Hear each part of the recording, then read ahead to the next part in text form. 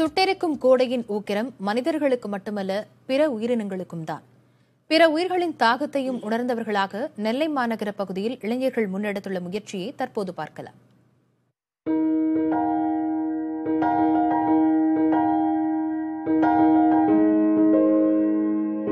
குடித்துவிட்டு வீணாக வீசி எறியப்படும் பிளாஸ்டிக் பாட்டில்களை சேகரித்து அதனை குடிநீர் சேகரிக்கும் சிறிய குடுவைகளாக மாற்றும் இவர்கள் நெல்லை பாளையங்கோட்டையை சேர்ந்தவர்கள்.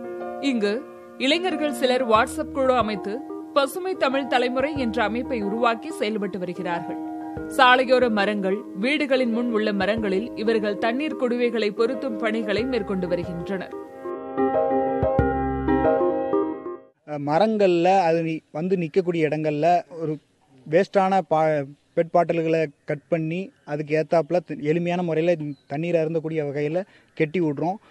இதுக்கு பொதுமக்கள் மத்தியிலே நிறைய வரவேற்பு இருக்குது ஒவ்வொருத்தவங்க வீட்டு முன்னாடி இருக்கக்கூடிய மரங்களில் நம்ம கெட்டி விடுறதுனால அவங்களும் வந்து அதில் தண்ணி காலியானதுக்கப்புறம் நாங்களும் இதில் தண்ணி ஊற்றிக்கிறோம் அப்படிங்கிற அளவு சப்போர்ட் பண்ணுறாங்க இது பார்த்திங்கன்னா இதில் வந்து ஆட்டோ ஸ்டாண்ட் இருக்குது இது ஒரு பஸ் ஸ்டாண்டு இந்த ஆட்டோ ஸ்டாண்டில் இருக்க ஆட்டோ டிரைவர் எல்லாருமே தான் மரம் வளர்த்தாங்க. அவங்க இதை தண்ணி ஊற்றுவாங்க டெய்லி பற்றா தண்ணி இல்லாத பொழுது அவங்க இதை வந்து தண்ணி ஊற்றி பறவைகளுக்காண்டி ஒரு அவங்களால முடிஞ்ச உதவி பண்ணுவாங்க. இதே மாதிரி எல்லா மக்களும் பண்ணணும் அப்படின்ற ஒரு சின்ன ஒரு அவேர்னஸ்க்காண்டி தான் பண்ணியிருக்கோம்.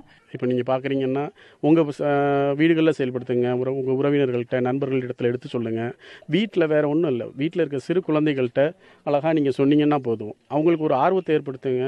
அவங்களே எல்லாத்தையும் பார்த்துக்குவாங்க ஏன்னா இந்த காலத்தில் சின்ன குழந்தைங்களுக்கு நீங்கள் ஆர்வத்தை இந்த மாதிரி விஷயங்கள் ஆர்வத்தை விட்டுனீங்கன்னா வீடியோ கேம் இந்த மாதிரி இதை இதை விட இந்த மாதிரி ஆர்வத்தை விட்டிங்கன்னா அவங்களுக்கு ஒரு ஃபிசிக்கல் ஒர்க் அவுட்டும் ஆச்சு. நல்ல ஒரு விஷயமும் செஞ்ச மாதிரி ஆச்சு.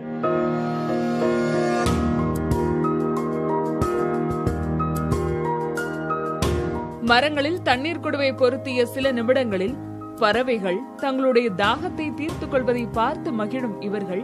இந்த முயற்சியை நெல்லையின் பிற பகுதிகள் தூத்துக்குடி போன்ற இடங்களுக்கும் விரிவுபடுத்தி வருகின்றனர். புதிய தலைமுறைக்காக நெல்லையிலிருந்து ஒளிப்பதிவாளர் நாராயணமூர்த்தியுடன் செய்தியாளர் நாகராஜன்.